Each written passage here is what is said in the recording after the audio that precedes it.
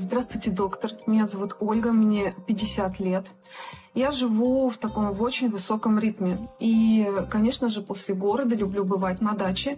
Я там не только работаю, но и отдыхаю. И это моя отдушина. Приехала докупить рассаду. А, мне нужен будет томат черри хочу и э, сладкий перец еще. Сейчас начинается приготовление к лету.